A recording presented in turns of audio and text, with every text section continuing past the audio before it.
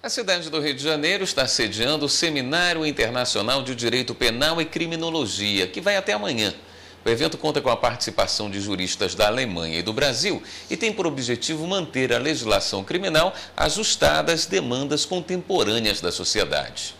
O seminário contou com a participação de dois dos mais influentes juristas do direito penal da Alemanha, Klaus Roxin e Dirk Fabricius, que foram homenageados. A eles foi concedido o título de doutor honoris causa da Universidade Gama Filho.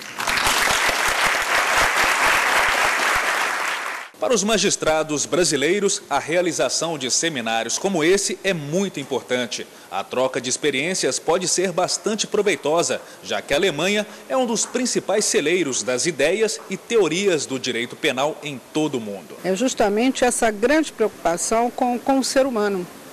A grande preocupação com aquele que, que vai ser julgado, né? com aquele que cometeu o ilícito é, até que ponto o próprio sistema não teria colaborado para isso e até que ponto nós temos que é, aplicar uma pena mais dura ou uma pena mais longa. Para o desembargador Luiz Gustavo Grandinetti, o Brasil pode avançar no direito penal, assim como fez a Alemanha. Daí a importância de discussões como as que foram propostas no seminário sobre a necessidade de manter a legislação criminal ajustada às demandas contemporâneas da sociedade. O direito penal acabou se preocupando com tantas coisas, com tantas condutas menos graves e não se preocupou com condutas mais graves.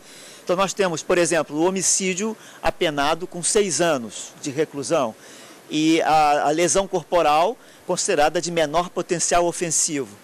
São duas situações que mereciam uma reforma penal para que as penas fiquem correspondentes à gravidade dos dois atos.